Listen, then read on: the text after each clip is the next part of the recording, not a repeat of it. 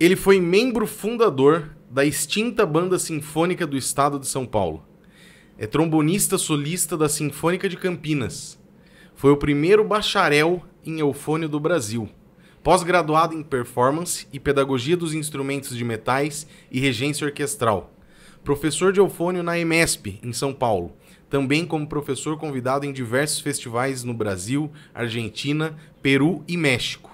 Participa como convidado nas principais orquestras nacionais, como Sinfônica do Estado de São Paulo, OSESP, Sinfônica Filarmônica de Minas Gerais, Sinfônica de Porto Alegre, Sinfônica do Paraná, entre outras.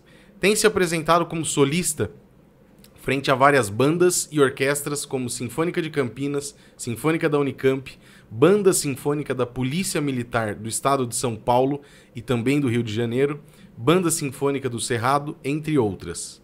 Já se apresentou também como regente convidado da Sinfônica de Campinas, Banda Sinfônica de Nova Odessa e de Sumaré, e também Banda Sinfônica da Academia de Força Aérea de Pirassununga. Regente titular da Filarmônica Popular de Campinas, Banda Musical Carlos Gomes e Orquestra Cristã Brasileira. Wilson Dias, seja muito bem-vindo. Obrigado. Obrigado pelo convite.